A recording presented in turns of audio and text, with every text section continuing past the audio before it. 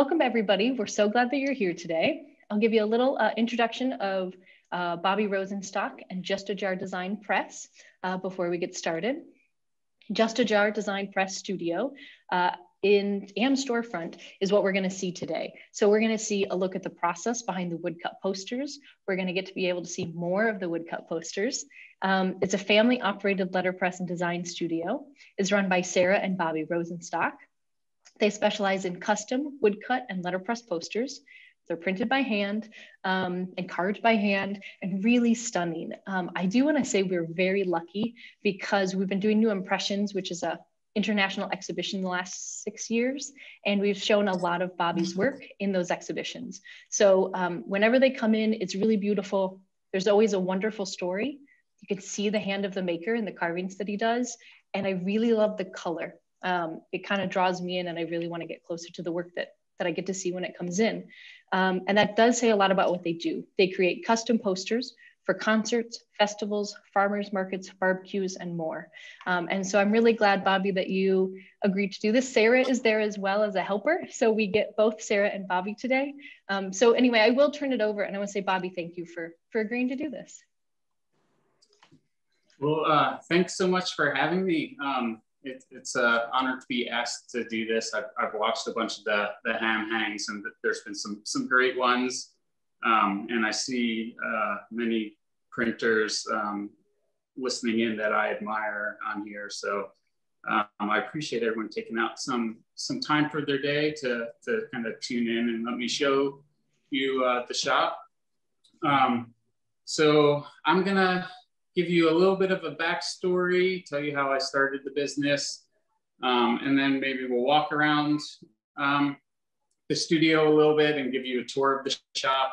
And then I have a bunch of prints pulled um, and I'll that I'll kind of show. Um, if you have questions at any time, feel free to um, ask them in the comments. Sara's here um, and she can kind of relay them or feel free to kind of just chime in and interrupt me. Um, I'm also happy to talk about the business side of things if you have questions about that. And we can kind of get into that more towards the end, but feel free to ask.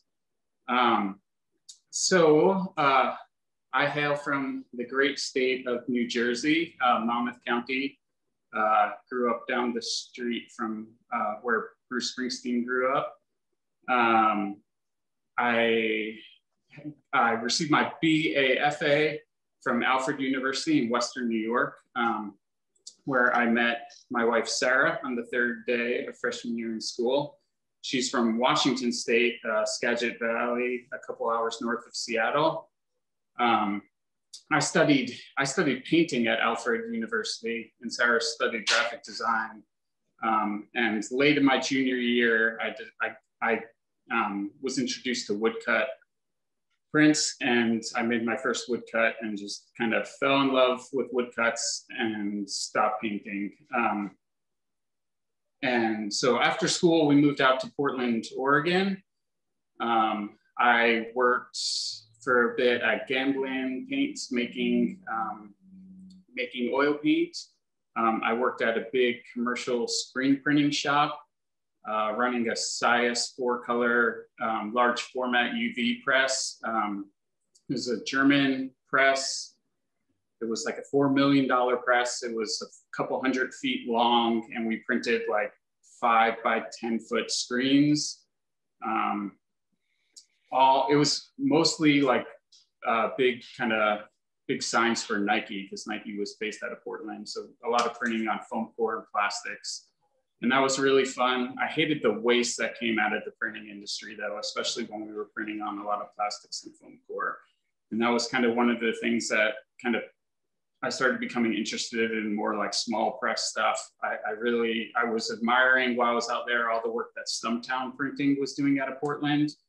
Um, I also, while I was out there, I was an early member of Flight 64 Printmaking Cooperative on Alberta Street. They're still around today, and that was awesome community of printmakers. We were making work.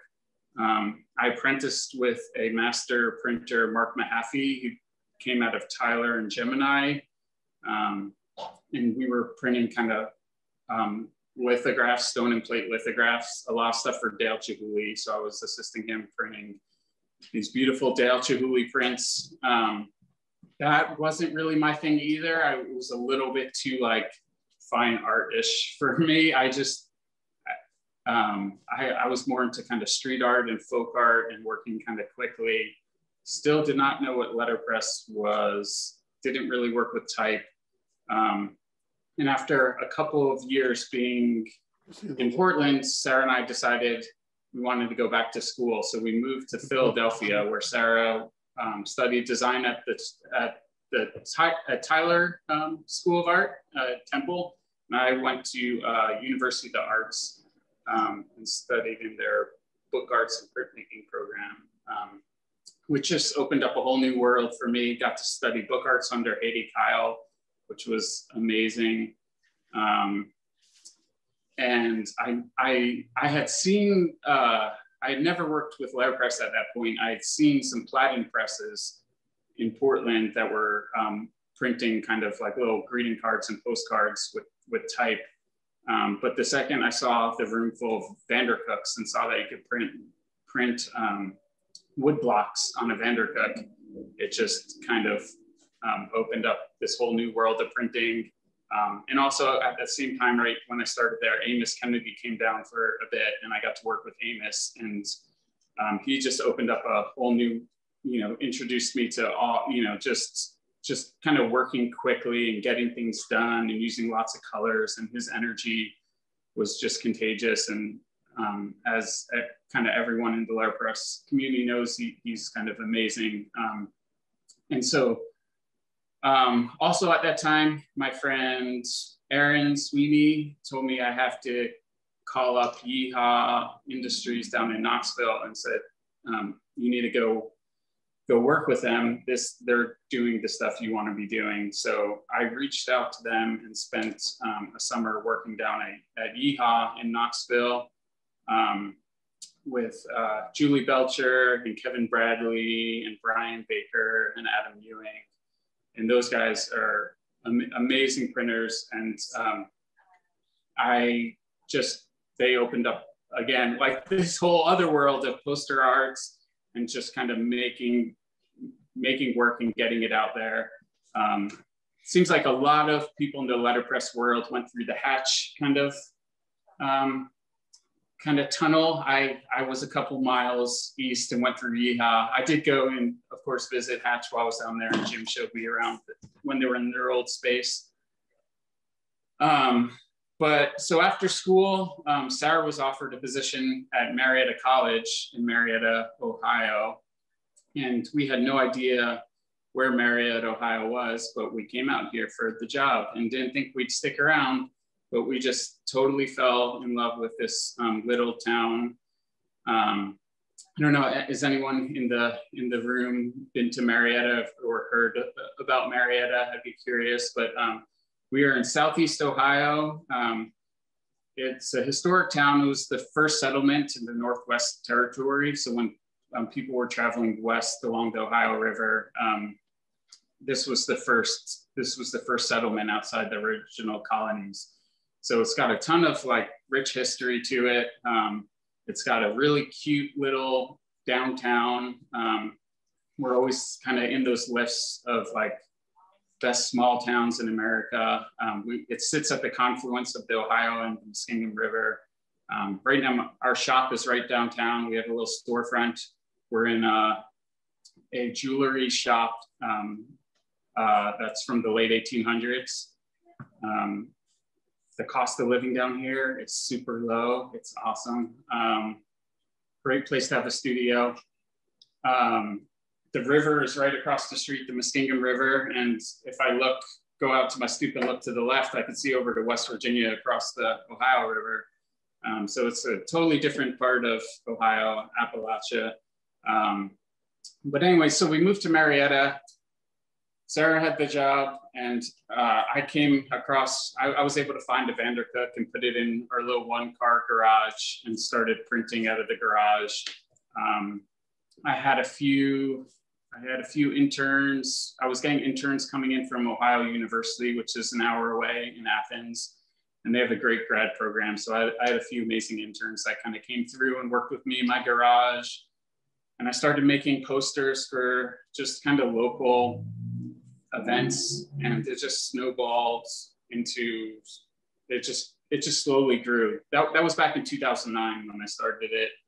Um, we're now I'm now in my third space. I moved at, out of the garage into an industrial building, um, and then my landlord got arrested and I had to get out of there. And I found this storefront downtown. I never really wanted to have like a retail shop storefront, but this beautiful space presented itself. So we have a little, we have a little storefront um, that um, is open on Fridays and Saturdays to the public, and we have lots of groups that come through. And, Mar- and Marietta being a tourist town, um, we we get a lot of folks um, just kind of walking around and finding their way into the shop, um, which is great. Um, and maybe we will give you a little bit tour of the studio.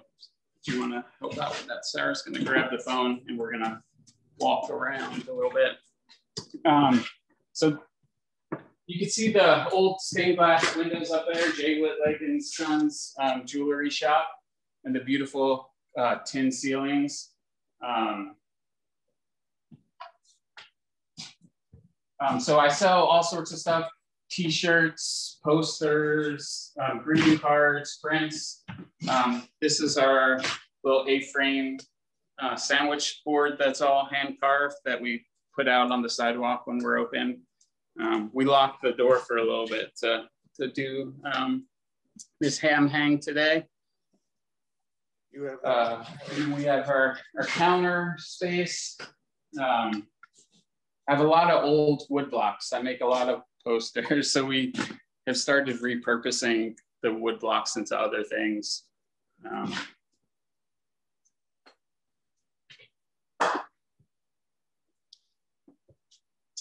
This is a tray that um, Sara's, besides the graphic designer, does um, a lot of a lot of woodworking. Um, and just this past year, I, have just had piles and piles of old wood blocks everywhere. Um, and Sara's been wanting to do something with them for a while. And I know it's kind of sacrilege, but we started cutting up all the wood blocks into pieces. And she's been making all these custom trays out of them um, and finishing them with like an epoxy pour. And they've been like super popular. We, I think about a year ago, we released our first batch, and every every time we release them, they basically sell out instantly. Um, but that's been that's been really cool and just like a different you know avenue uh, of some of a way to kind of reuse the old blocks. I don't reprint things anyway, so I'd rather them be turned into something. We also made a table out of these old blocks, or, or this table. Um, um, so if you, and then, so we have the small retail um, space up front. And then back here is uh, the workspace. This is the old uh, safe too from uh, the jewelry store, which isn't going anywhere. It's been here for over 100 years and it's not going anywhere. Um, one of the downsides of being in this ri river town sitting right at the confluence is um, is flooding, especially when your shop is filled with tons of lead. Um, and this is actually the flood line from a flood uh, about 20 years ago, before we were in this space. Um, we did have a scare like four years ago in which water came within a few feet. It flooded the basement and was like a feet from the bottom of the floor. And the middle school and high school sent closed school and sent all the kids downtown. Um, and I had rented a U-Haul and had like the football team like cleaned out this whole space, loaded up the U-Haul in like half an hour. It was amazing. It was really kind of freaky, but I got to sweep under all the old type cabinets, which was kind of nice, and like rearrange things a little bit, which you don't. People were excited about the banjo. As oh well. yeah, um, yeah. You got to have a banjo laying around the shop. Um, for when that comes up. Uh, I have a bit of type. I'm not a. I'm. I. I got in through letterpress through the woodcut world. Um, I don't know. One of the interesting things about the letterpress community is just the different avenues people take to get into the letterpress community. And it's, which is makes like the kind of meetups and the Ways so fun because it's, you get your graphic designers and typographers, um, you get your woodcut people and painters like me, you get your historians, you get your people that are into the kind of equipment side and the history side. Um, but I never worked with type until I, you know, I started, um, was in grad school basically. And, and now I love type. Um, Sara's more of the typographer in the group, but um, anyway, so this is some of my metal type. I have a small, small collection, nothing too fancy. Most of it came from old um, print shops in the in the area. Um, I, I, I, my Franklin Gothic is still my favorite. I just like kind of simple Gothic type, um, and some wood type. After my my daughter's here too, and she she gets in the print shop and prints quite a bit. Um, uh, especially this past year when uh, with virtual school, but this is a a print, a little lino cut and set type we did together when she was seven years old. So I have an eight-year-old and a five-year-old now, Ellen Bela, and they spend a ton of time in the shop and they both know how to operate the presses. And we've had their Girl Scout troops come through and camps and it's, it's fun getting to work with kids. Um,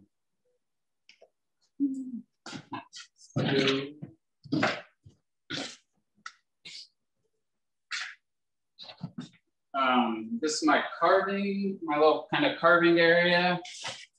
Need a sweep or get a pet hamster to kind of live under the table and all these wood chips. But um, a dog that eats wood chips. Yeah, I also have a dog that eats my wood chips. Um, she likes to sit under the table while I carve, and her name's Lucy, but I call her I call her Splinter. Um, her nickname's Splinter.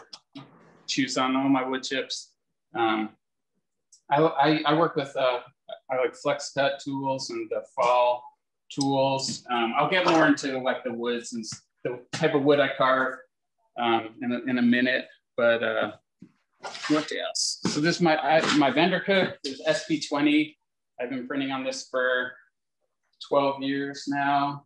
Um, and it's kind of the workhorse. Um, and then I have an old style C&P, which um, I'm printing um, some roost. I'm reprinting some greeting cards. Um, Rooster playing the banjo. It's a three color woodcut at the moment. Um, and then this whole kind of back area is mostly storage. We also, I just got this um, little uh, Takach etching press, and I've been printing T-shirts for my woodcuts on, the, on this. Um, we also host a ton of events in the shop pre-COVID, um, but we first Fridays every month in town we have um, live music in the back. We there's usually tons of kids here. We'll roll out paper on the floor and let them draw, or my, my kids pull out. We have a button maker that my kids will pull out and the kids will all make buttons. And so it's a really, I like being able to, to use the shop um, to kind of have little gatherings and share, um, uh, share printing with the community. Um, show this print, I, I'm, this is a print I did uh, last year and I'm rolling them out uh, to be flattened to frame them up. Um, but it, it's a large woodcut that I did um, with Big Ink Prints. If any of you have heard of them, they they kind of travel around the country with a printing press in the back of their van and set up to print large wood blocks. So I proofed it with them. Um, I think fall 2019. And then I printed an, an, edition at Ohio University with some of their grad students um, about a year ago. Um, so I think that's it for the tour of the shop. Uh, um, I'll show you guys some work. Does anyone have any questions so far? Yeah, there were just two people that said they'd love to see uh, more about your process about the t-shirt system. Oh yeah, um, it's uh, I basically um, I'm just printing. I, I'm using uh, Gamblin textile ink and um, Speedball textile ink, but I think you could use any oil-based ink. Um, you, you need a mixed dryer in, but I lay, um, I just lay my t-shirts flat down on the etching press um, with a piece of chipboard or something inside of it to protect the ink from going through to the backside and just lay the blocks um, face down on the t-shirts uh, and just run them through the press like that with with no other like tympan or blankets or anything. And they, they print great. Um, and it's it's fun to we're um, I can wheel my press outside and we've done well or I'm planning to do a a t-shirt event with the community in which we're going to be printing outside. Um, but if that, hopefully that answers your question. Yeah, there was just one more um, yeah.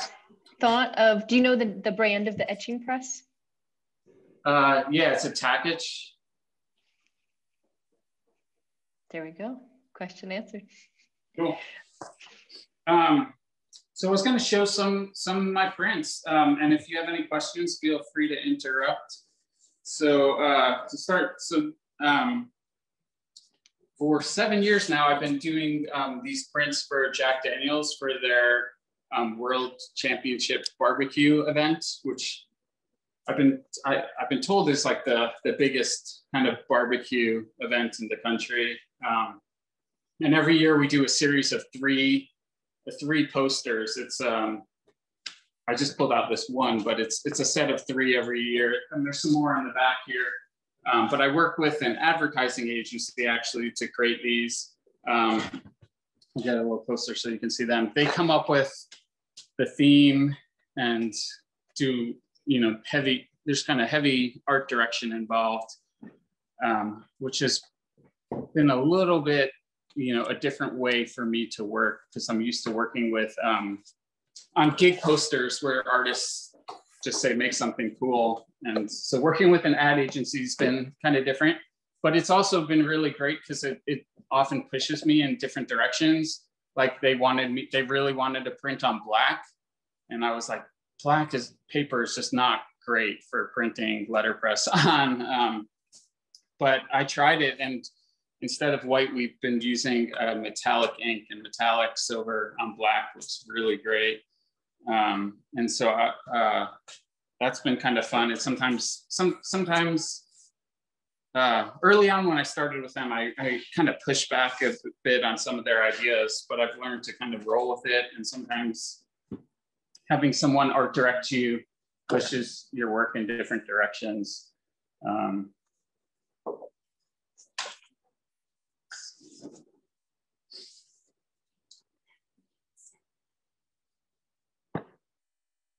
People yeah, are the, loving your format. What's the size there on a lot of those? Um, 12 by 26 on these. Um, and it's not set type. Uh, we do, I, I, would love to set type one year, um, but we do mag plate. I get magnesium plates made for this just because um, there's, there's so much, there's so many hands in the pot with this project between the ad agency and Jack Daniels and lawyers and um, it's just easier to kind of create the type digitally. So when people want edits and they realize you can't just kind of enlarge wood type. Uh, so uh, we do it on the computer and that's kind of worked out. Um, so another, another kind of cool project um, I've been working on, I think we've been doing um, labels for Little Fish Brewery out of Athens for about six or seven years now.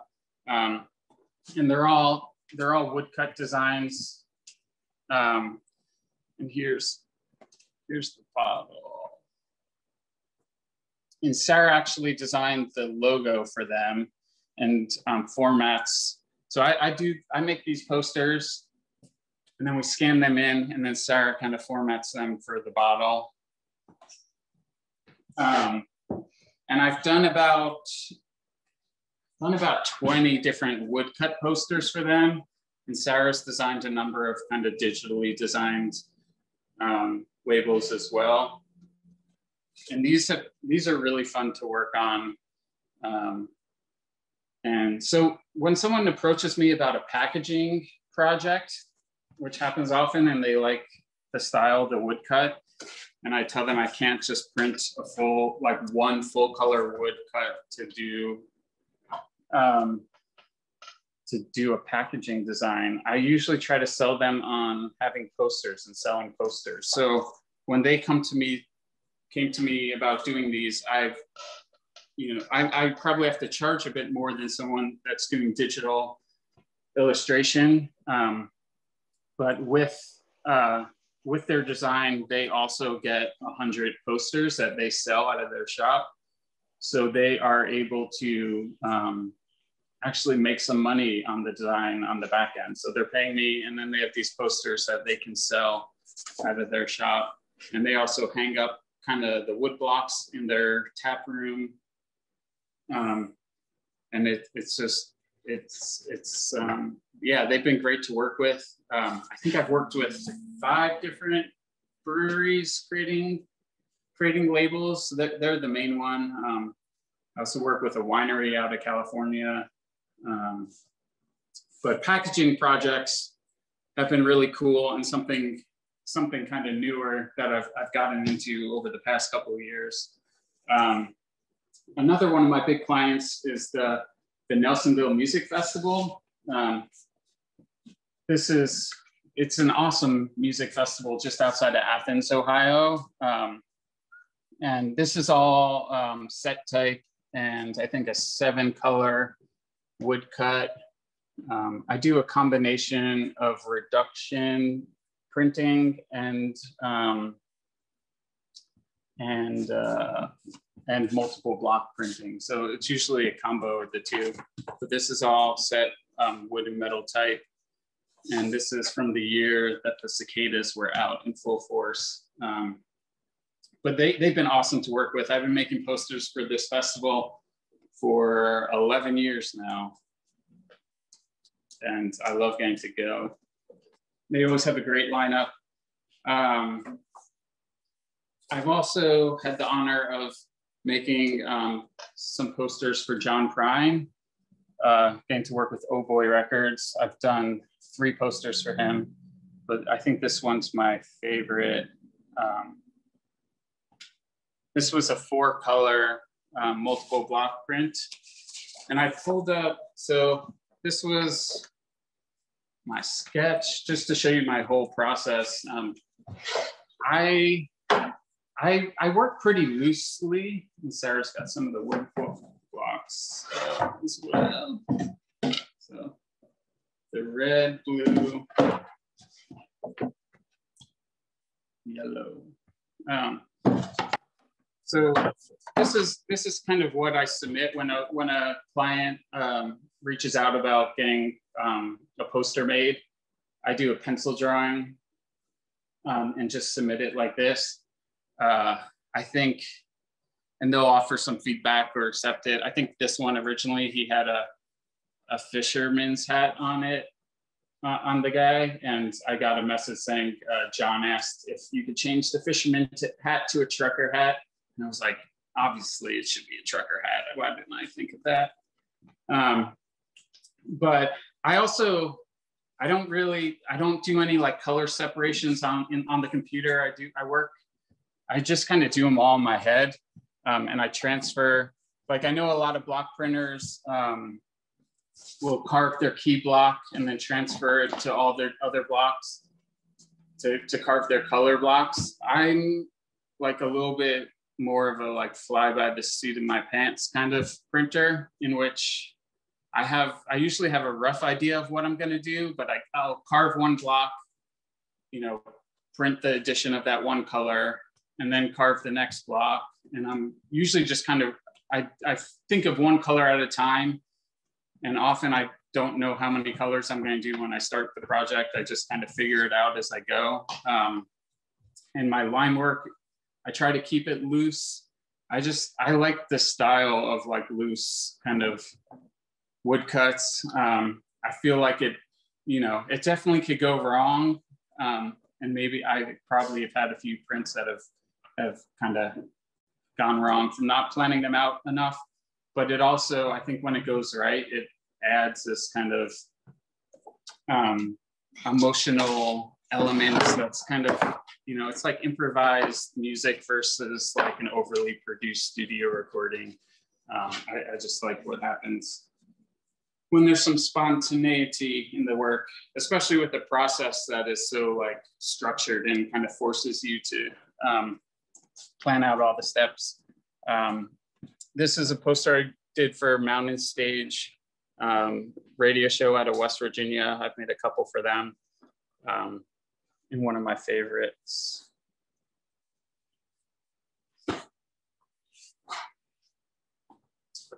Uh, one for Taj Mahal.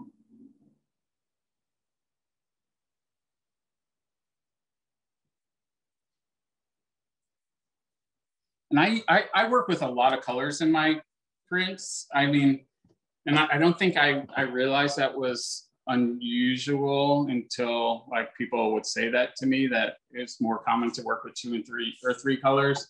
And I think that's just my painting background, in which I like to work with lots of colors. Um, and so I just I just keep adding colors and I, I, I like to work that way. I find it harder actually to work when it's only a two or three color poster. Um, also, I use uh, I use Hanco Hanco Hanco lithography ink. I love. Um, it's super thick and tacky. I love this opaque white. All my people comment a lot about like the color in my work. Um, I think because it's most of it's like pretty desaturated because I mix like every color is like at least 50% to like 75% opaque white. So I go through through these five pound cans of opaque white like crazy. Um, so that's um, Brad Better says amen. Yeah. Hey, Brad. Um, this is a print. I also just like to make a lot of art prints. Um, I made um, last year after reading Dave, David McCullough, the uh, famous historian and author. Um, his new book, Pioneers, is all about the settlement of Marietta, the town that we're, we're in. Um, and there was an excerpt in the book about this um, fiddler that was walking along the Muskingum River right here across the street from me to a wedding and um, was chased by wolves up a tree and spent the night sitting in the tree playing his fiddle for the wolves until they left him. And I was just like, you know, it was just a short paragraph. And I immediately was just stopped in my tracks and was like, what is this? That's the craziest story I've ever heard. Um, I need to find out more about that. And so I went by the special collections at Marietta College where, where David did all his research for the book and found um, where that story came from, which was from the, um, the journals of Joseph Barker, who was one of the founders of Marietta and told that story. Um, so of course I, I, had to make a print about it. And I, I kind of told the story, my own words up here um, and made this print. Um, one of the a little like kind of technical thing I, I love to do. Um, if, if, you notice the texture in the background of this print, um, I, I, mostly well I, I, carve on birch and cherry wood a lot, but I love using Luan plywood because it creates this this beautiful grain. That that kind of texture in the background is just the natural grain of quarter inch Luan plywood. So I use it a lot in my um, in my prints as a background texture, especially if it's like, if I'm trying to show like rain or snow, I'll cut it at an angle to get the angle right. Um, sometimes hit it with a wire brush, but usually it just shows up on its own. I'll, I'll mount it onto some um, composite board. Um, and so I, I, love I love working with Luan. Um, I also I so I carve in. I was carving, doing all my carving in a in birch plywood. And I, have just found over the past couple years, the quality has gone down. And so someone turned me on to uh, cherry veneer plywood um, with the underlayers are poplar and you can order it from Home Depot. They don't carry it in stock, but you could order it online.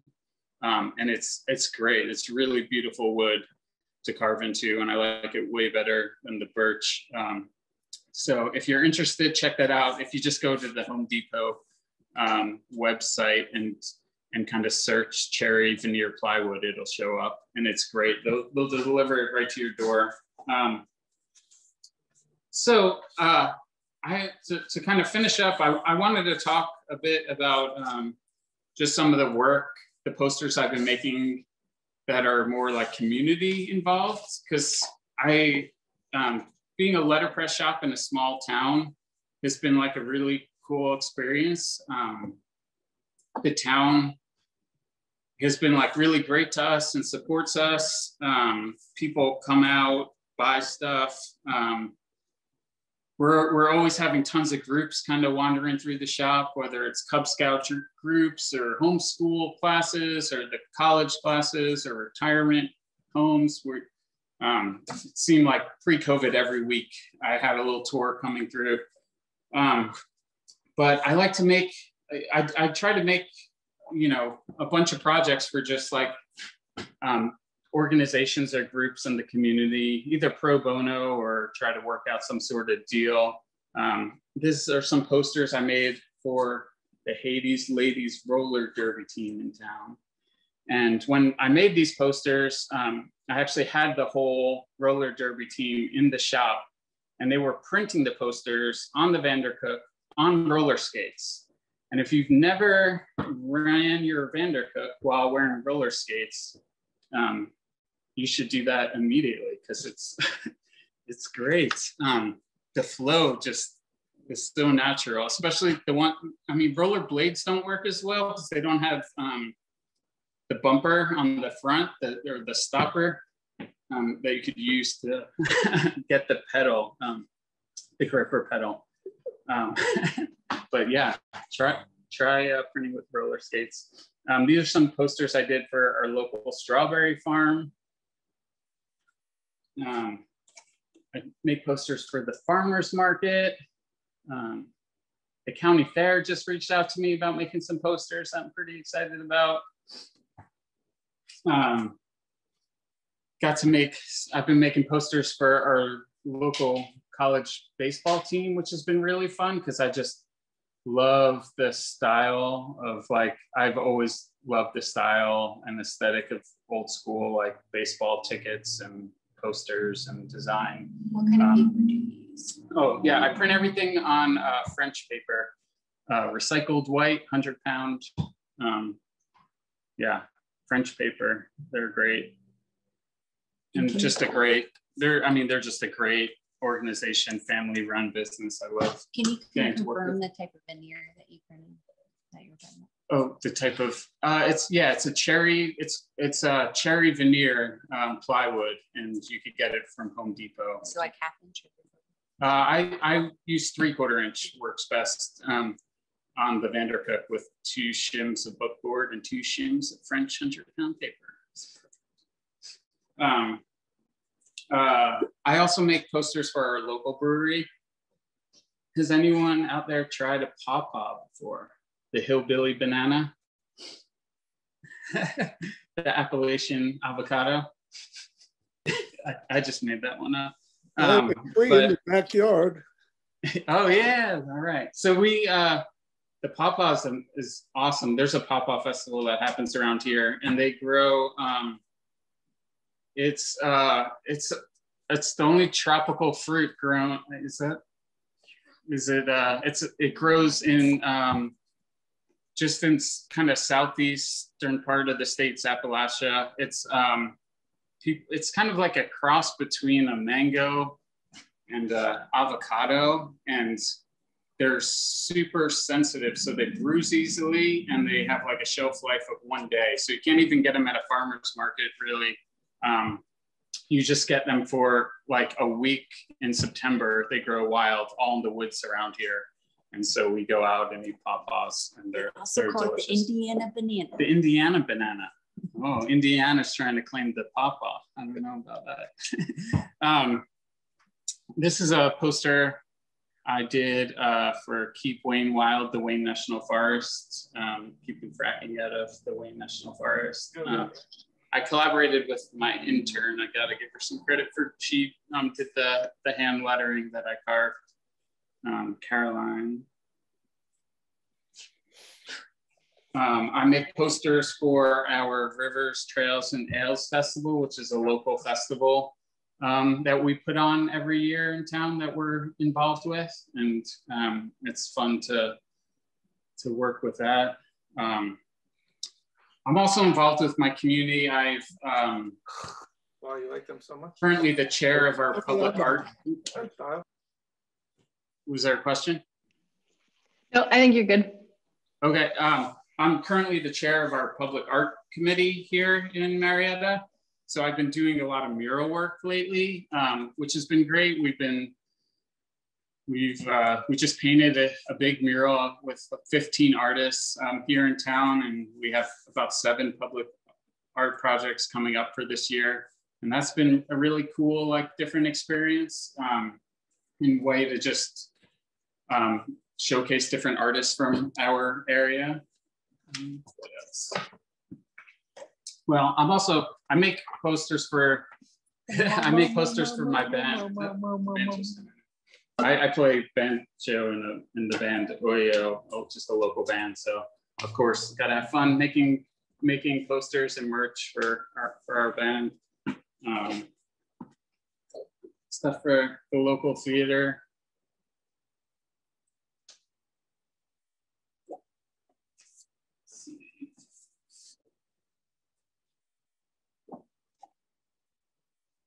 Just all sorts of different events. Um, and that's the, I mean, I, I really like getting to do posters for, for local events, um, kind of more than anything. I've gotten to work with some amazing, you know, musicians and stuff, but getting to, to do stuff for, for the community has been kind of the most re rewarding work for me. Um, I also just love the, the history of the letterpress shop as like the community print shop and as this kind of you know um, location that just played an important role in sm small towns historically.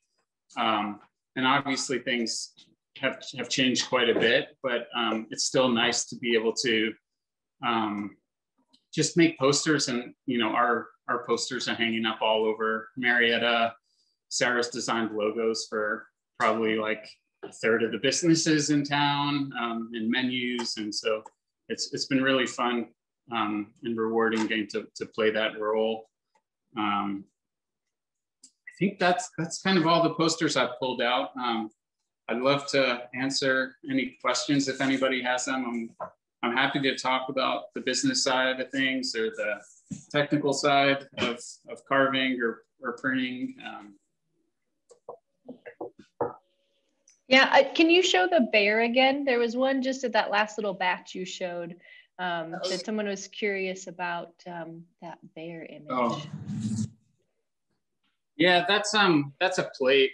Uh, Sweet. Yeah. Yeah.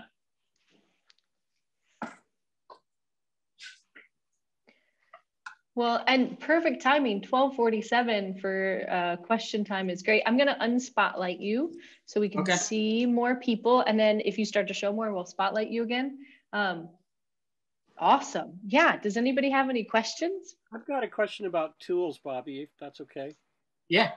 Um, I'm I'm doing a lot of lino cuts and I'm moving towards uh, wood cuts. I have a specific question. I've been using tools that have this kind of handle rather than the bulbous speedball type handle, uh-huh. specifically uh-huh. because those other hurt my hands. Yeah. And if I were going to upgrade, what would you recommend along those lines? Um, well, the speed speedball, I, I personally like the palm tools better. Um, speedball recently, or, or not speedball, Flexcut. Um, Flexcut, yeah. They used to just make the palm tools, and they're they're new kind of micro gouges or are those longer handles. So I've been I've been using those um, more. But I, I love the Flexcut. I mean, ha having good tools is so important um, for for especially if you're carving in wood. But this this the Flexcut and the Pfeil, I think there's it's Swiss made. I don't know if I'm pronouncing their name right, but they Oh, have. Swiss made stamped on them. Um, right. yeah, they're both both of those are the tools I um, primarily use, um, and I and that's kind of what I recommend to my my students. I know folks often try to that interns and students that come in and they're like, oh my my mom got me a cheap pair of tools at a yard sale for like seven dollars, and they're just garbage. I mean, they're just worthless. Like they don't. You're gonna hurt yourself or screw up your block or um, it, it's worth investing in a decent set of tools and they're not that pricey i think these tools run about 15 20 bucks a piece Thank you. That that's uh, exactly what I wanted to hear. Thank you. yep any other questions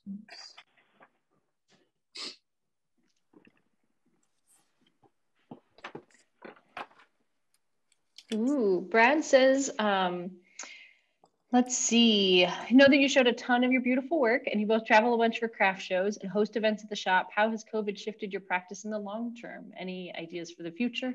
And he just misses you. um, yeah uh, well the gig poster world has totally dried up which has been tough and the craft fair world has totally dried up um, i've gotten about a year ago i got a really good good kind of long-term job. I've been just carving um,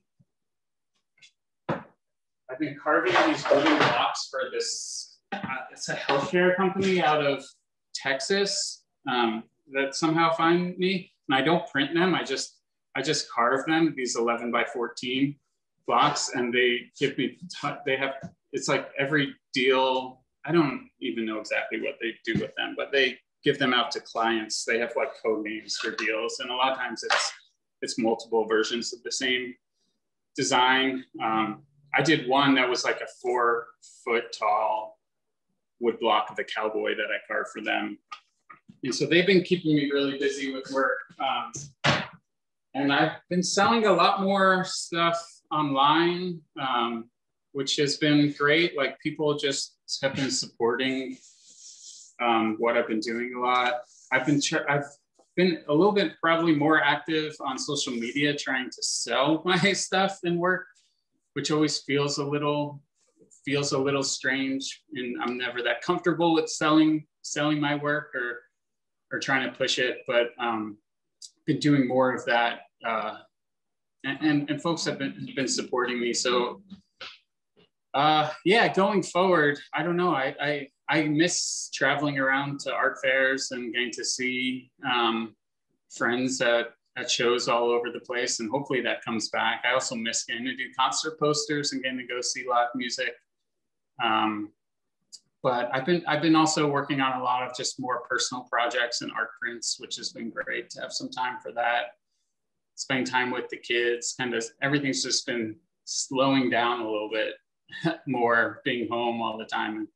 As you know, same with every, everybody, I think, and it's been kind of nice and just trying to to enjoy that. But I'm ready to get back to to traveling.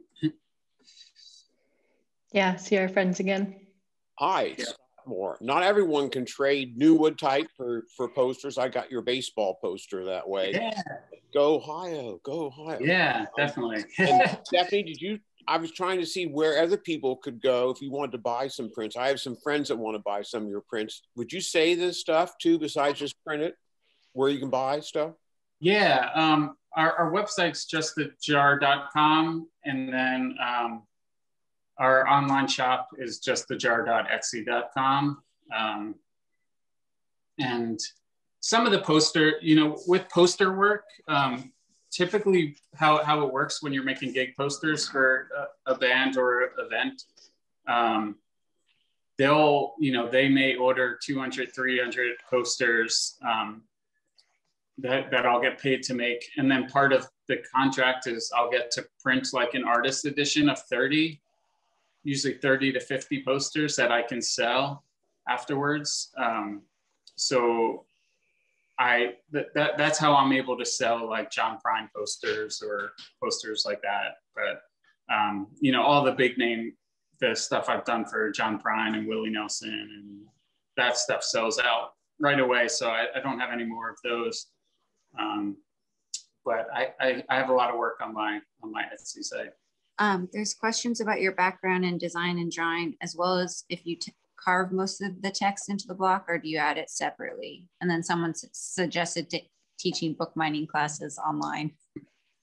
Um, yeah, one, yeah, you don't want me to, I, you do not want me to teach bookbinding classes. I, I actually just had someone email me about when I first moved out here, I was teaching bookbinding classes in Akron. Um, and Aaron can, you know, tell you, um, uh, I used to always, Hedi would always smack my hands when she'd walk around. Um, and when I was studying bookbinding at UArts, and if you don't know Hedi Kyle, she's a master kind of bookbinder, and she's always go, um, what was it, Aaron, Long string, oh, lazy boy.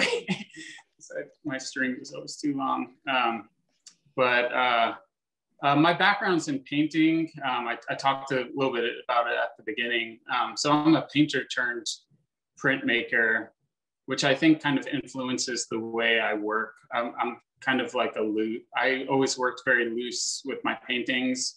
Um, and I, I work the same way with my woodcuts. And I also like to work with a lot of color, I think, and that is probably more of my, my painting background um, that influences that. Um, also, uh, any pro tips for finding a balance between making client work and personal work? Um, yeah, that's that's always the tricky part. Making um, I I try to kind of you know whenever I have time every year, like January, February, is always like personal work time because there's always like a little bit of low of a lull, and so I always like year round you know, and it's been different this year, but um, year round, I'm planning out what I'm going to do in January and February. Um, also working on like gig posters. I blend um, my my pro like my personal work and my my um, gig poster work often like um, reflects it. Like I, I made um, I made a few pieces. I think one of them you guys used in the the ham hang images of a guy carrying a whole bunch of stuff on his back. I've made I've done like two art prints like that, but I've also probably made like five different gig posters of people carrying things on their back.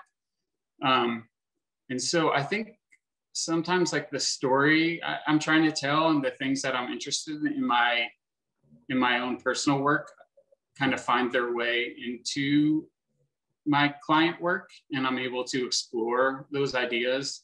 Um, I also kind of geek out on the the little usually the most exciting stuff of like my client work is like the little like subtle things like texture and colors and patterns and stuff in the background that's kind of on the forefront that I, will utilize maybe later um, in, in my personal work.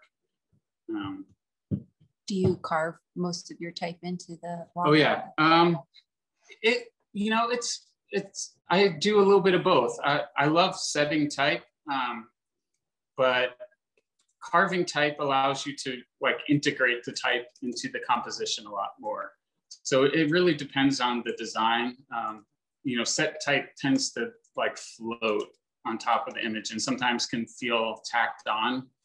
Um, so I, I like, I, I love setting wood type and I'll, I'll try to do it whenever I can, but sometimes the image calls for the type to be a little bit more integrated with the design and then I'll, I'll carve it sometimes I'll proof like wood type and then um, and then kind of alter it manually and carve it so it could still have like the same. I think on the this John Prine, I proofed that in wood type and then I carved it out.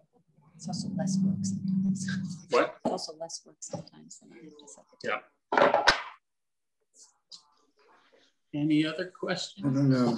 I can. And that's not true. I mean, so um, there was a private question to me that asked uh, the behind your name, just a jar. Where did that come Right. from? I was yeah, I, I I was waiting for that one. Um, um, it came from uh, it came from a poem my brother wrote, and it was a saying I just really liked. Um, I think it kind of I, I used it on a project when I was a, a book arts project in grad school, and then my business kind of gradually kind of took on its own shape when we moved to Marietta and just the jar just kind of stuck. Um, but it kind of represented to me um, this kind of like simple utilitarian object um, that, you know, has been around forever and isn't going anywhere. And that kind of, I, I like the symbolism of that. Um, I also like the wordplay of, of just the jar as well. Um, but I do get every once in a while, like an old lady wandering into my shop, asking if we sell marmalade or pickles or um, stuff like that. So it, um, and I, I, yeah, so. Carl, do you have a question? Uh, yeah, Bobby, I'm just wondering if you, uh, you mentioned letterpress and setting type. Do you do much letterpress work? I'm a letterpress printer. I do a lot of uh, greeting cards and flyer type things, and uh, only 50 miles away from you. But anyway, Oh. do you do much of that? Do you and the greeting cards that you have in your shop? Do you print those, or are they done by other printers? Yep, no, I, I print everything on our um, Chandler and Price. Uh-huh. Um, yeah, you have to come. Where where are you located? I'm a little bit east of Athens on Route 550. So Oh yeah, uh, I, I love. doing doing printing here for many years, and uh, I have three or four uh, small presses, a small Vandercook, uh, um, eight by ten C&P, and se several others that I use, and many many fonts of type. Um, so I'd, I'd like uh, when COVID's allows, I'd like to come over and Yeah, talk a bit likewise. I'd love that. to visit your studio as well. Um, yeah, I'm I'd like up do that. 550 all the time, so I, I know around where you are. But uh, yeah, I print um, all my cards on my Chandler and Price um, press. Mm. I do. I set type. Um, I, I like to make like stuff for the shop. Um, Uh-huh. uh, I, you know, there's nothing better than just. I love setting like a bunch of type for business cards or Mhm, yeah. things like that. I don't, you know, there's a bunch of different avenues you can go as a letterpress printer trying to make a living. Um, and I, Uh, when I started out, I was kind of dabbling in all them, but I've kind of, I've moved away from like job printing, doing wedding invitations. Um, I don't do a, I do a little bit of wholesale, but I've kind of moved away from that. mhm, yeah. I don't really do workshops because that's a whole nother thing besides ha- having group tours. Um, but yeah, I love, I love, you know, I've been showing mostly carved stuff, but I, I love to Mhm. set, set metal type. Oh, good. Well, I'll, uh, yeah, I'd like to come over, as I say, when COVID allows and, and bring a little bit of my work and look around, see what you do. And Yeah, that's great. I about didn't, I didn't, um, yeah, there's not too many of us in the, here in Southeast Ohio. So yeah, it would be nice to, it was nice to meet you. and Hopefully we'll would be, yeah. connect. Yeah, yeah, good. I look forward to it. Yeah, great. Okay, Thanks. That just absolutely made my day. I think that was an absolutely great way to end the Hamilton Hang. Um, Bobby, thank you so much. This, uh, from where you started to what you do now, that was an amazing story. So I really appreciate you doing this. Thank you. thanks thanks for having me Yep. thanks thanks everybody and feel free to if anyone has any questions you know they want to ask outside of the, the group feel free to shoot me an email uh, bobby at just the jar um, or, or connect um, yeah be happy to happy to chat more or, or talk about the process more Uh, and I just put a couple things over in the chat. Um, one is I shared your website again, and I shared the shop a couple times as well. Uh, go go buy a print, guys. And then uh, I also want to say thank you. We can do these free events weekly uh, because of support from our members. And so I really want to thank a, a, lot of you here, our members. So thank you so much for your support. That helps us keep being able to do these. Um, we do ask that if you can become a member, it's a really good way. It keeps the doors open when they are open. It keeps heat in uh, Two Rivers, Wisconsin year round, and it allows us to do programming like this. So thank you everybody for your support. Um, I also put the upcoming Hamilton Hangs. We have uh, for the next two months already planned, and I would say by early next week, we're gonna have all those online. Um, so you can go get registered for those. Uh, we do have a couple of odd dates. So I wanna remind everybody to look at those um, because we have uh, Corey Wisniewski, who works at Hatch. He can't do a Friday. Um, and we also have um, we're going to go look at the protest posters that New North Press put up. Um, and so they're going to do a Tuesday uh, event as well. So there's a couple oddballs. So I just wanted to let you all know. Uh, next Friday, February 19th, we're going to be in Texas with Casey McGarr of Inky Lips Press. Uh, I really love his work. So, um, so that's over there. So anyway, I want to say thank you so much. Thank you everybody for joining us. Um, thank you, Bobby and Sara. And I hope you all have a good weekend.